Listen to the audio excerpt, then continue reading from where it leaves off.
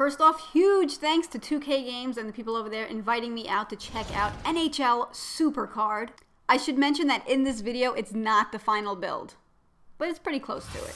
So this game is similar to WWE Supercard as well as NBA Supercard, except that this time it's NHL Supercard. You are not battling in the ring, you are not battling on the court, you are battling on the ice. So this is a first look.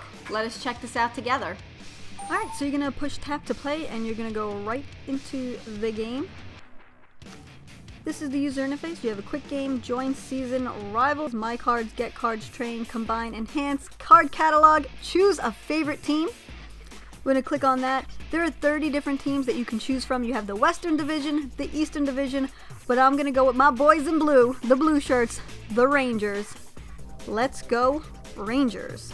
You guys let me know down in the comment section which team you guys chose. Let's check out Quick Game. As you can see, this is your bench. On your bench, you're going to have your center, your left wing, your right wing, your two defensive men, and your goalie. When you line up the player with the correct position, you'll notice that you get increased stat boost. So I would recommend playing the player in the correct position, but you definitely don't have to. Play your own strategy, but it's definitely a very helpful hint to know that if you play them in the correct position, that you do receive a stat boost. Also, there's plenty of helpful hints throughout the game that'll pop up and let you know how to play the game. Alright, so we're going to go into a quick game and choose our opponents, and let's battle it out on the ice. Starting it up, it's an Iron Cross game for period one. There's going to be three periods. As you see, this is an Iron Cross team up match. There's 30 different categories of matches that it can be. So I'm going to choose a goalie and a defensive man we're going to team them up for that Iron Cross match. And there you go, my team successfully declined my opponents. Next off, for period two, it's a face-off match. The scoring is random.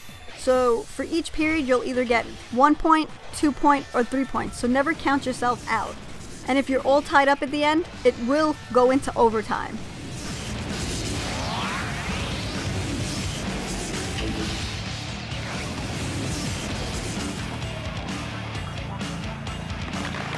Next match is a success, scoring up another three points, and it's 6 0 going into the third period. Bank shot, and it's a playmaking versus playmaking. Choose two skaters. I chose my left wing and the center.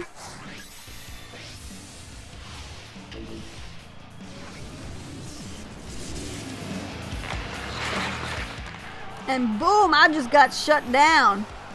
We still win the game.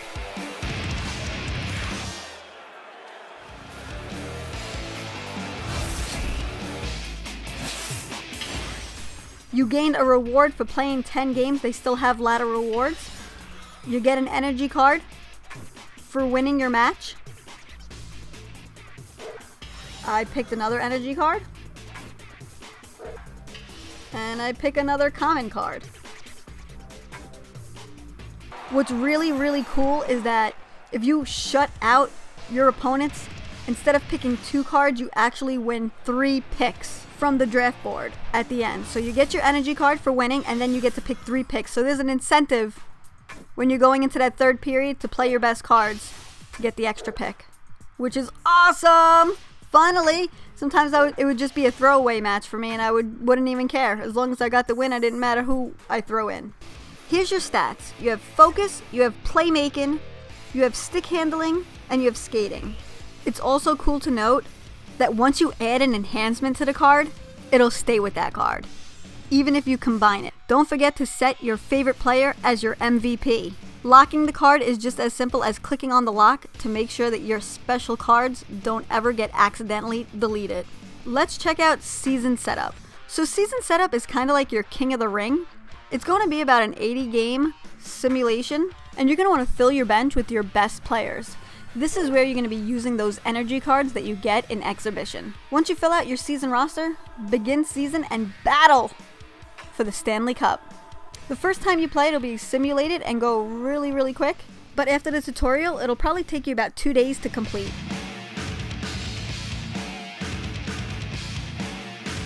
Alright, let's check out Rivals Clash. So this is where you're gonna pick a team and play for them. It's very similar to People's Champion in WWE Supercard. So I'm gonna go with the LA Kings. You're gonna play games and earn wins for your team. Each time you win, your chosen team gets a win, but also you can gain personal points, either one point, three points, or five points.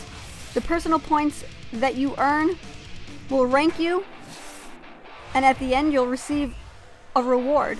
And when you find hot streaks on the draft board, you can use them to double your personal points for your next game.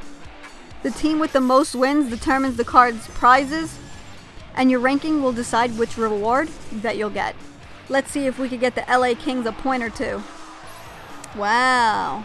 Starting off period one and we're losing. Let's go into period two. It's a penalty shot. I'm going to choose a skater.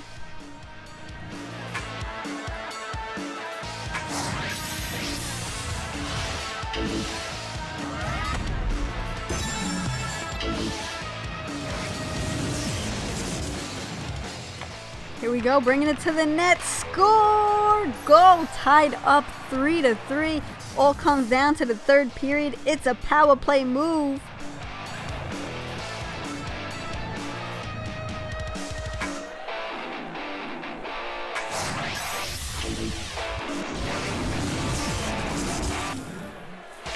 Here we go. Ooh, with the comeback win, 4 to 3, getting the LA Kings one point for rivals. There's a lot of other things I probably did not cover in this video. There was a lot of information that I did cover, but definitely stay tuned for the channel for more NHL Supercard. And I also recommend checking out Tubby Emu's and Nadasfan, their YouTube channels. Thanks for checking out this video, and I'll check in with you champs in the next one. Bye.